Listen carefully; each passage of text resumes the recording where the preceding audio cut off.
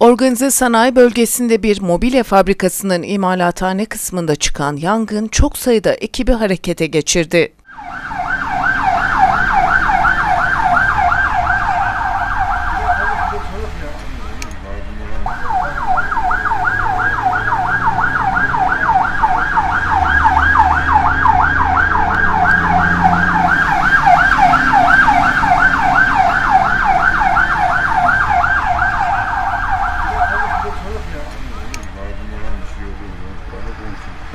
Şurada koğuşuydu ya.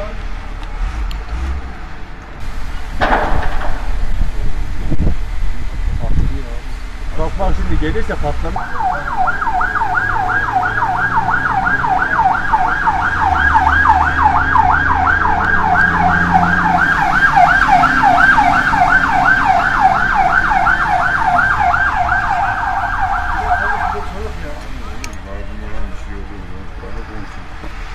Organize sanayi bölgesi ikinci kısmında bulunan mobilya fabrikasının kapı imalat bölümünde elektriğin şase yapması sonucunda yangın meydana geldi.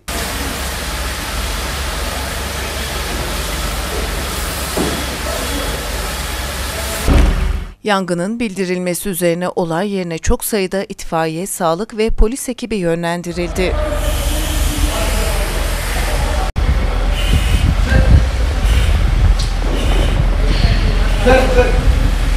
Bu ne lan?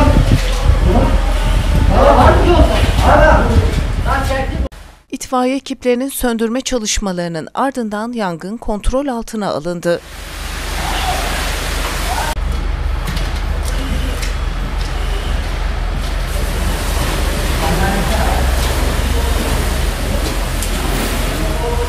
Abi çekil abi abi abi sonra da.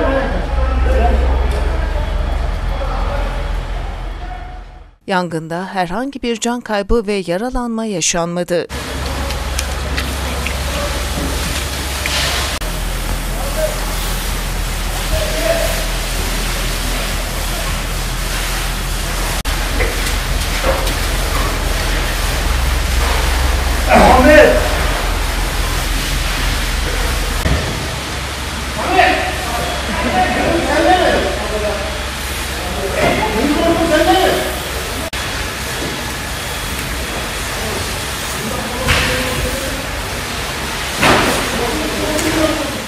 Maddi zararın oluştuğu imalathanede ekipler yangınla alakalı inceleme başlattı.